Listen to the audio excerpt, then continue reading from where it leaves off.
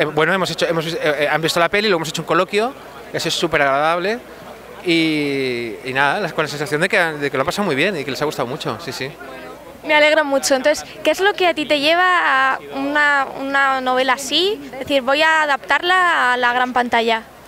Muchas cosas. Es una novela que me, me impactó muchísimo por varias razones. Eh, por el tratamiento que tiene de las musas, que todos asociamos a, a, a, lo luminoso, ¿no? seres mitológicos maravillosos que inspiran cosas bellas, y de pronto lo convierte la novela en algo terrible, ¿no? en casi en algo relacionado con la brujería, seres malignos que provocan cosas muy, muy horribles.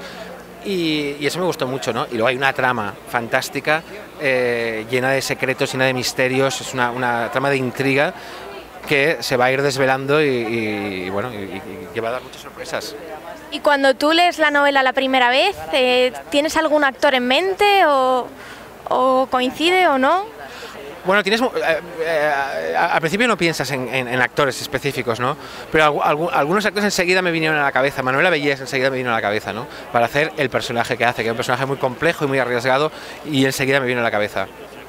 Bueno, y un poco, ¿cuál es tu infierno particular? Bueno, eh, creo que mi infierno particular eh, tiene mucho que ver con el infierno mmm, que veo hoy en día en, el mundo. ¿no? Yo creo que el mundo se, se está volviendo bastante infernal eh, en, los últimos años. ¿no? Creo que es, eh, lo, lo, percibo de una forma bastante atroz y cada vez más. Entonces eso me, asusta. Yo creo que el infierno personal de todos es, pensar que el mundo va a seguir convirtiéndose en eso y que no va a quedar un mundo mm, como el que querríamos para nuestros hijos. ¿no? Bueno, pues muchas gracias y buena noche.